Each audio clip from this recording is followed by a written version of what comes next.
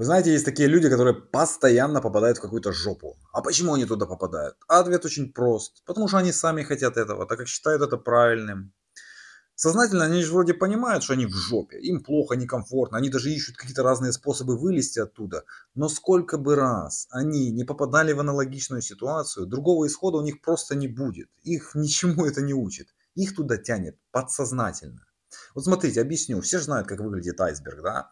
Вот сверху это только малая часть того, а остальное все вот э, скрыто в пучине океана. Так и с нашей головой. Сверху это наше сознание, которое контролирует всего лишь 5% нашей жизни. А остальные 95 это уже работа самого подсознания. Там и идет регулирование роста волос, шелушение кожи, выделение пота, поведение каждой клетки в организме. И самое главное, это контроль наших реакций на определенные события. Контроль наших чувств и эмоций. Все это заложено в подсознании. Подсознание вообще состоит из множества частей, и каждая часть контролирует определенное какое-то чувство. Правильно ли оно или неправильно, это уже решает само сознание. Для подсознания они все правильные. Если оно там записано, значит оно приносит пользу для организма в целом. А теперь вернемся в начало. Вот почему люди попадают в жопу. Их подсознание в какой-то момент жизни, ну в основном это до 5 лет, сформировало мысль, что жопная ситуация это есть нормально и полезно. Вот пример. Девочка часто видит ссоры родителей. Вот. И вот после вот этих ссор папа ее водит в кафешку там покушать мороженое, а мама покупает какую-то куклу или игрушку. И для ребенка это радость, положительные эмоции, ну то есть все хорошо. И уже во взрослой жизни эта девушка, женщина, там, она ищет себе вот такие вот отношения. Отношения, в которых будет ругань, конфликты, может даже ее пиздить будет. Вот после этого, по идее, должно быть хорошо, правильно? И прекрасные чувства должны появляться.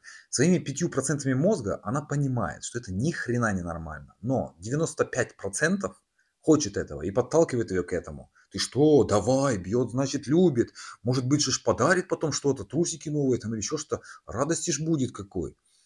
Вот. Второй пример. Мужчина, там, 35-40 лет у него особое пристрастие к алкоголю. Алкоголиком ведь тоже не просто так становится. У него в жизни полная жопа, жена пилит, начальник сношает. И бахнув соточку или литр пивасика в конце рабочего дня, человеку сразу становится хорошо, приятно, расслабон у него.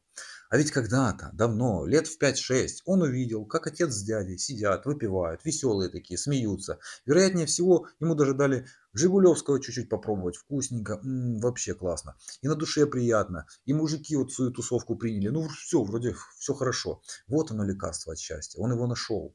Подсознанию нужно что-то, что позволяет хорошо и безопасно себя чувствовать. Что этой девочке, что этому мальчику.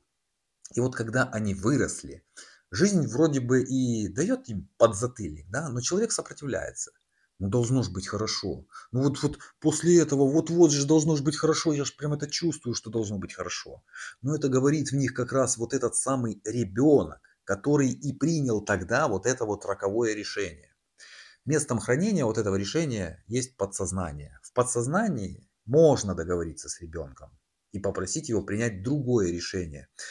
Добраться туда можно только лишь при помощи гипноза. И только гипноз расслабляет бдительность главного защитника подсознания, который называется критический фактор. И все, жизнь меняется, существенно меняется. И девушка, женщина там наконец устроит нормальную жизнь, а этот мужчина перестанет позволять себя всем унижать и в говно набухиваться. Главное, это их желание выбраться.